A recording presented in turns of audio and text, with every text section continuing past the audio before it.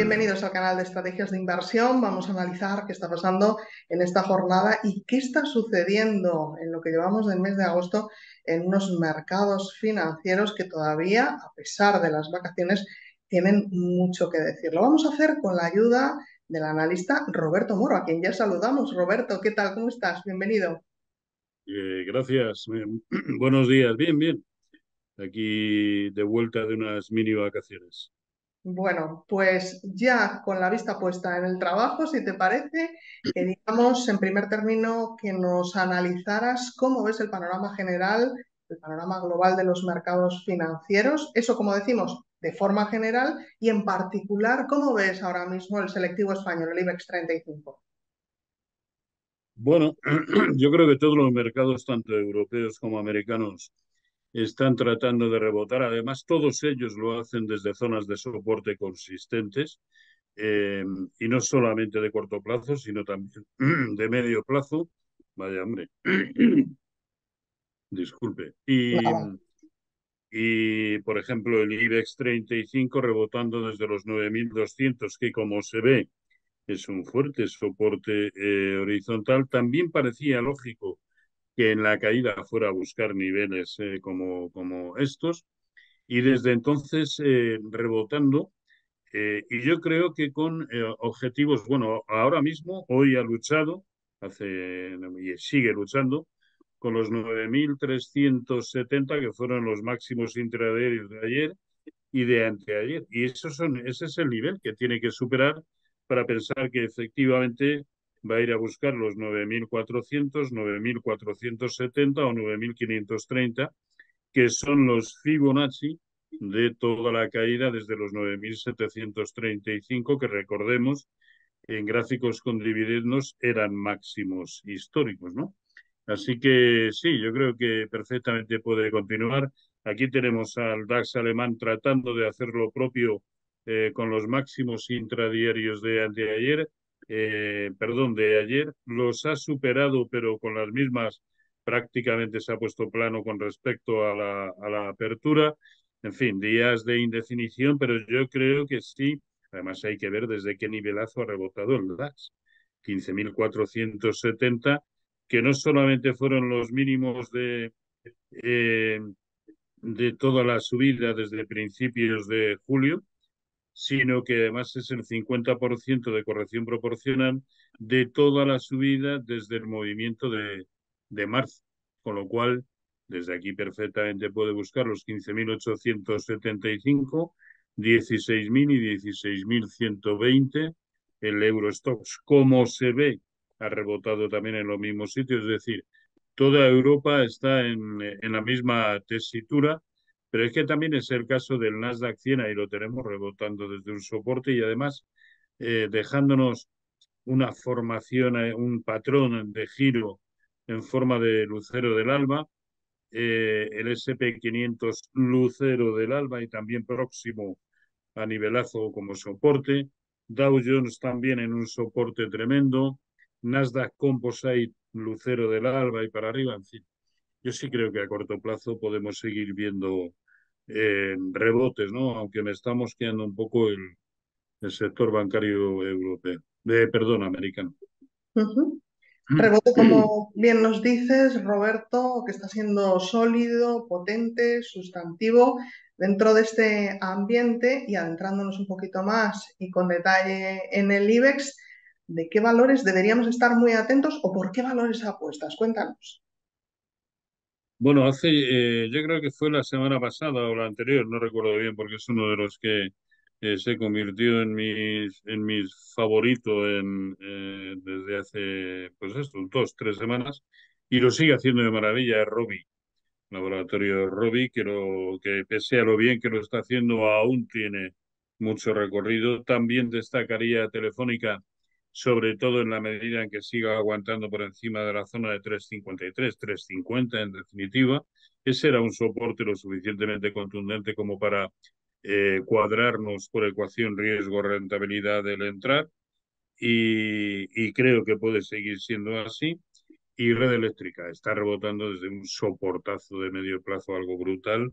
Yo destacaría esos tres. Tampoco creo que haya muchos más destacables, ¿no? Dentro de, a ver, dentro de una buena diversificación, pues siempre tiene que estar eh, Inditex, por ejemplo, ¿no?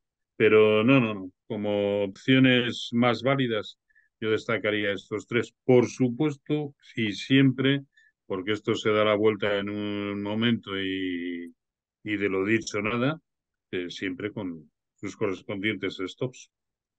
Sin duda ninguna. ¿Y en el sector en concreto, en el sector turístico, ves alguna oportunidad, algún valor o ya han despegado? No, yo, no, yo, no, lo veo ni, ni Meliá, ni, IAG. Eh, no, yo no veo, no veo ninguno, la verdad. No, salvo los que he mencionado, ¿no?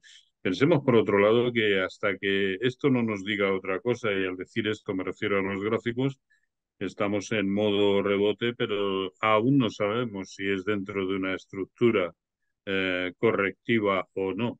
Pero de la misma manera que mirándolo con, eh, con mayor perspectiva, nada hay de momento que contradiga eh, la, la continuidad de un escenario alcista que al menos en el impulso actual comenzó en el mes de octubre del año pasado, es decir, que ya lleva 10 meses, ¿no? Así que eh, yo, yo, creo que en algún momento eso ha de ser matizado con una corrección muy importante, pero no tenemos, ningún elemento válido de juicio para pensar que, que este sea el, el caso.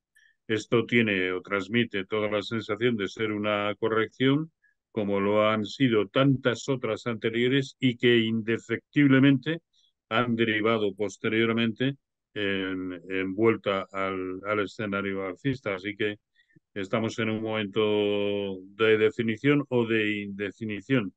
Y así que de momento vamos a ceñirnos al corto plazo. El corto plazo parece que puede seguir siendo alcista, al menos alcista en modo rebote con respecto a la, a la última caída. Pero no veo especialmente atractivo al sector turístico. Bueno, pues descartamos de momento el sector turístico, pero nos quedamos con ese rebote, con esa tendencia alcista a corto plazo de la que nos hablas. Vamos a adentrarnos, si te parece, en las divisas, en la situación del euro, especialmente lógico frente al dólar. ¿Cómo ves a la moneda única europea? Eh, perdiendo hoy, eh, perdiendo un soporte eh, tremendo, a mi entender, en la zona de 1.0845. A ver, lo está perdiendo por la mínima, ¿no? Pero es que yo en el fondo y hablando en el terreno conceptual, lo que pasa es que esto se suele dar de patadas con la realidad, no veo ningún motivo por el que el euro deba apreciarse con respecto al, al dólar, ¿no? Eh, y es más, creo que eh, en el largo plazo el, el, precio, después de la enorme caída que tuvo eh, hasta finales de septiembre del año pasado, eh, y que lo llevó a la zona de 0,9550.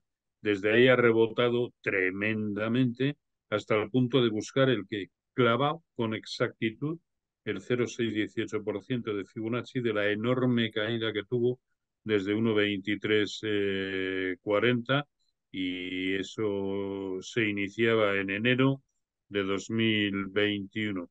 Así que ha llegado al 0,618. Si en algún momento tenía que eh, demostrar eh, que esto era un rebote brutal, pero solo un rebote, qué mejor momento que al enfrentarse al 0,618 y no poder al alza con él, ¿no? Eh, lejos de eso está empezando a corregir. Yo creo que va a ir a buscar niveles de corrección proporcional a lo que ha sido toda la subida desde 0,95 y que por lo tanto y, y, y manejo un primer objetivo en la zona de 1,0615. Para ello es prioritario que efectivamente empiece a consolidar, aunque sea mínimamente, por debajo de esos 1,0850.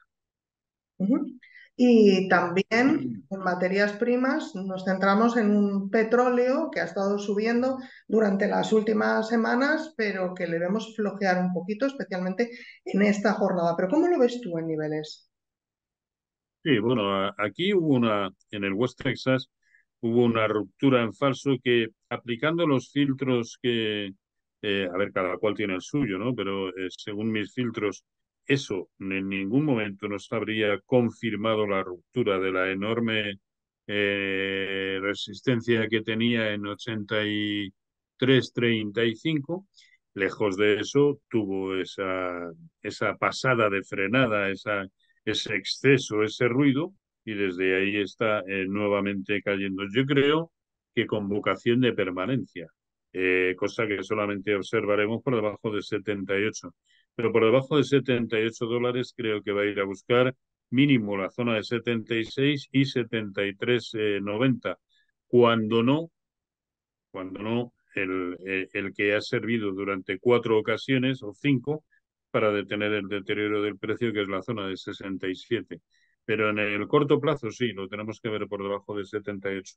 Me cuesta más ver el lado por el cual desde aquí va a rebotar hasta el punto de ir a buscar de nuevo la zona de 85. No lo, no lo veo. Por supuesto, puede suceder, pero me parece más plausible el, el otro escenario. ¿no? Y, se me ha olvidado eh, comentar, si dentro de este escenario de recuperación que me parece que puede eh, suceder a corto plazo en el conjunto de los índices, eh, incluso a nivel mundial, yo creo que hay un nubarrón, que es el sector bancario americano, ¿no? Em, y no hay más que ver también la evolución de los, de los índices sectoriales eh, pero sobre todo el aspecto técnico que presentan eh, títulos como Citigroup, Bank of America, y hablo desde el aspecto técnico, ¿eh? American Express, Goldman Sachs, JP Morgan, Bank of New York Mellon.